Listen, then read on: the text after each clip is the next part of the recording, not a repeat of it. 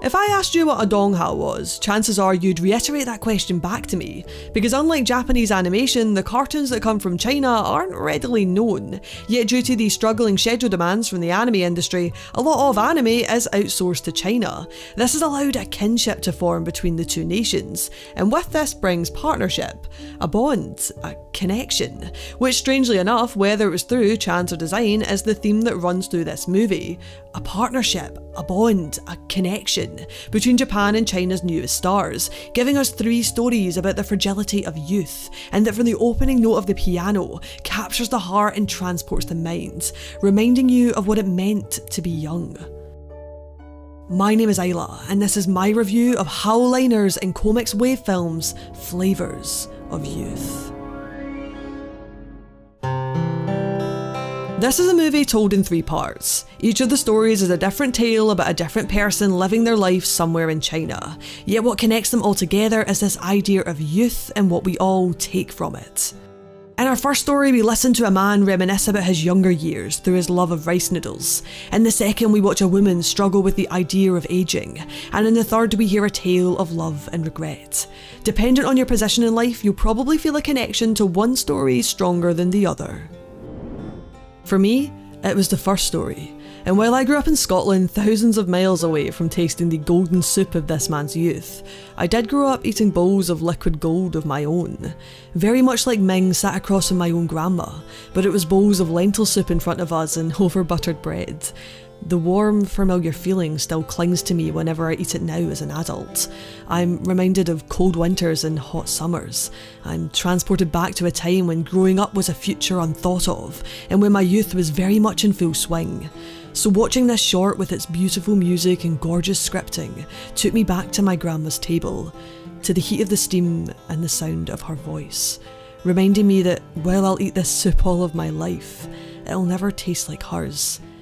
It'll be my youth, but I'll never be my youth.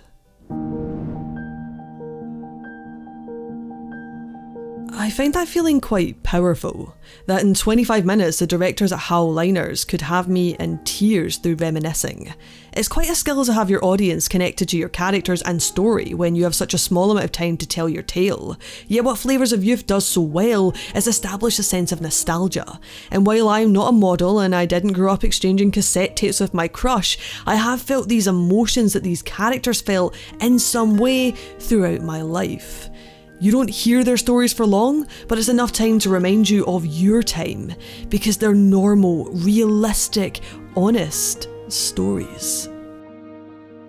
They're accentuated by the Makoto Shinkai-esque animation that CoMix Waves is famous for, and while this is not a Makoto Shinkai film in any way, it feels like the movie was born from his influence. The way he captures light, the placement of his cameras, the transitions between his scenes and the emotions he envelops, all of this is ever present in Flavours of Youth, and I would akin it to a homage rather than a direct copy, because it doesn't quite capture the memento beauty of a Shinkai work.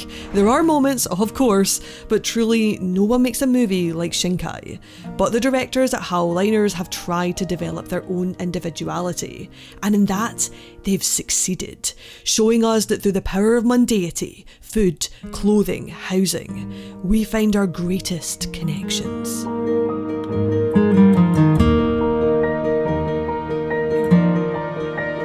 Of course, if you start to peel apart the framework built on the foundations of a certain feature by Shinkai, then you'll find flaws in its design. Some of the shorts are stronger than others, and while the CoMix art style might hold this movie in place, look a little deeper and you can clearly see the shorts were all worked on by separate teams, creating a disjointedness in its animation.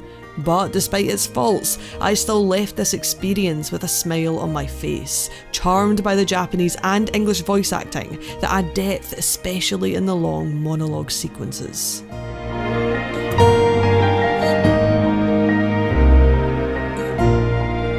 Don't go into Flavours of Youth expecting the next Your Name, because there's only one man that can make that. However, it is the beginning of something new, a chance for China to show that they can tell stories as beautiful and as wonderful in animated form like Japan. A sweet and delicate reminder of what it means to grow up, cling on, and eventually let go.